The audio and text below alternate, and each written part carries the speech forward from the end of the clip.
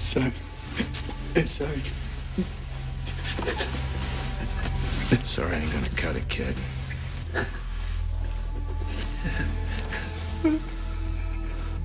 I never wanted a kid. Shit, what the fuck did I expect? I ain't been much of an old man, I know that. We both know that. But I should have cut you loose years ago. What are we playing here? Who can pull the trigger first?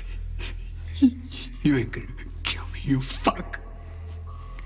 You don't have the right to kill me.